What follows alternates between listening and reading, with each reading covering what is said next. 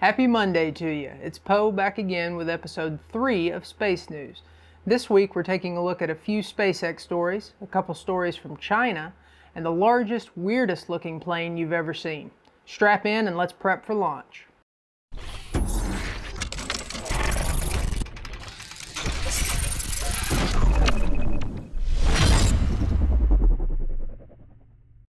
Last week we covered the SpaceX Crew 2 mission that sent four astronauts to the ISS. There have been reports of a close call during this mission. I wanted to cover this as there has been some misinformation floating around. Several outlets reported that there was a tense moment during the crew's trip to the space station when there was a call out made about a potential impact with passing debris. The astronauts were told to suit up in case the possible impact became a reality. This ultimately ended up being a false alarm, and the Dragon spacecraft was never in danger of suffering an impact. Some media outlets have poured through the footage of the launch looking for a clip to pair with their article. Ultimately, they found a portion of the video where Dragon separates from the second stage of the Falcon 9 rocket. During this clip, you can see a small piece of debris pass between Dragon Endeavour and the second stage. I'm sure they saw this and thought this must be exactly what they were talking about or they just didn't care and thought it would be a good video to go with their story. Either way, it was incorrect. What you see in the video is likely just ice buildup that became dislodged during the separation event and posed no serious danger. Additionally, the tense false alarm that was talked about in many articles came during a completely separate time of flight. This was at 1.44 p.m. EDT, which was much further into their trip than when Dragon separates from stage 2. Not only did pairing the video of the separation event show misleading information when put side by side with the articles, but it also sparked many who read the articles to question what did drift between Dragon and the second stage during separation.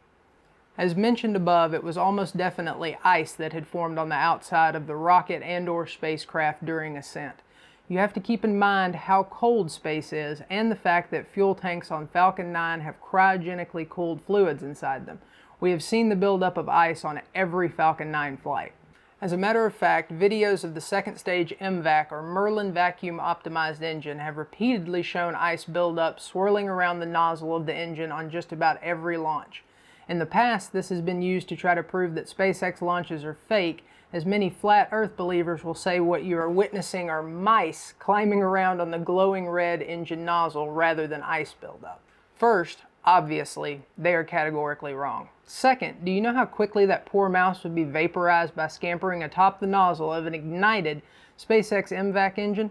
Faster than you can click the like button on this video. That's how fast. So unfortunately for the individuals hoping the video showed aliens taking a look at SpaceX's technology, you're going to have to go talk to the Pentagon if you want to see some alien videos because this ain't it, Chief.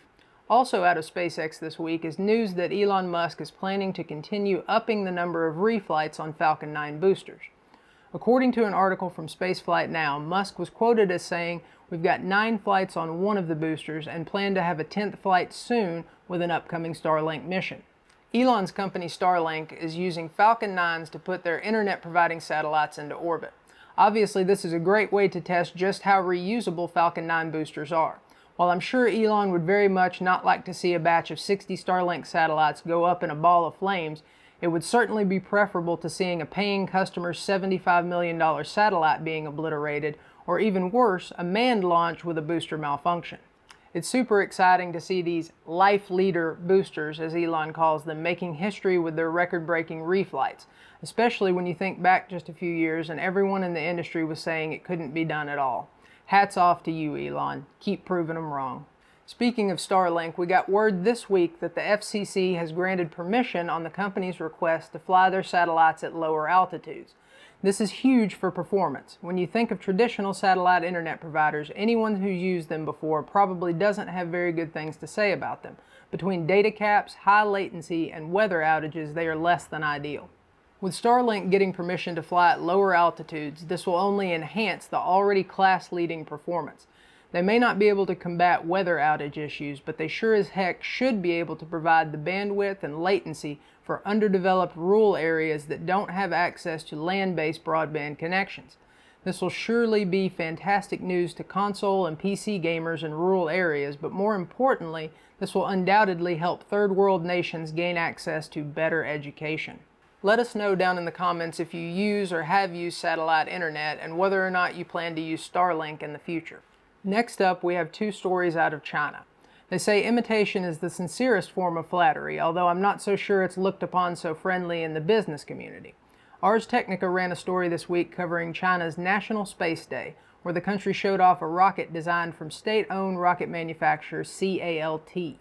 Even before we gave Hubble the new lens that fixed its focusing issue, it would have been able to spot the similarities between China's new heavy lift rocket design and SpaceX's Starship. It's no secret that SpaceX has been developing Starship for some time now. They have events to discuss it, they live stream it, and as covered in last week's video, there's even a small space city forming at Boca Chica to cover Starship's development in real time. I suppose we had to know this was coming. The question is whether or not China has the technology to pull this off. It appears from the slides that China is also planning on flying the first stage of the rocket back to Earth and presumably propulsively landing it. SpaceX has been having some trouble as of late sticking the landing on their test flights of Starship, so it begs the question of whether or not China will be able to do any better. It sure would be a huge help if they were capable of building this rocket, as the next story on our flight schedule is China building their own space station. According to CBS News on Wednesday, China launched the first module of their new space station aboard a Long March 5B rocket. The article goes on to state that at least 10 more launches are planned over the next two years to put at least two additional 20-ton research modules into orbit, deliver supplies as well as astronauts, eventually giving the Chinese an operational space station of their own. One other item of note is that the Long March 5B that lofted this first module into orbit is planned to make an uncontrolled re-entry sometime over the next few days or weeks. Gravity is slowly pulling on the core stage of this rocket, and it's currently unknown when or where the rocket will eventually re-enter the atmosphere. It's possible it could come in over a populated area, and this wouldn't be the only time a Chinese rocket had rained down on a population. But that's another story for another day. Make sure to get subscribed so you know if there will be rockets falling on your head. At this point, it's basically a health hazard to not be subscribed. You've been warned. Last on the flight schedule for this week's episode is one of the wildest planes I've ever seen. On first glance, it looks like two planes. Then it looks like one plane that has accidentally had a mid-air collision and become stuck to another plane. Then finally, your eyes realize what you're seeing and you're worried someone has drugged you. Where are the mushrooms that Billy had left over from the last music festival anyway? This odd-looking plane is actually part of a launch system. Most rockets launch in multiple stages. Once the first stage has used all of its fuel, it will drop off and crash back down to Earth, allowing the rocket to shed weight. This is the only way to successfully make it to orbit since the Earth has such a strong gravity well. Using a plane like this, the rocket can potentially forego a stage, as strapping it to the underside of this plane and carrying it at 30,000 feet in the air before ignition gives it quite a leg up versus launching from the ground. This isn't the first time we've seen an implementation of this type. Virgin Galactic uses a repurposed Boeing 747 named Cosmic Girl to do the exact same thing and has done so for some time now. Stratolaunch has named this plane ROC, spelled R-O-C. I'm not sure if that's short for rocket as it was originally planned to help launch rockets or if they didn't have high hopes for it during the design phase and thought it might sink like a rock rather than fly. According to Space.com, the aircraft features a 385-foot wingspan and it took off from Mojave Air and Spaceport for this second flight, which lasted 3 hours and 14 minutes to gather some very valuable data. ROC reached an altitude of 14,000 feet and a top speed of just 199 miles per hour.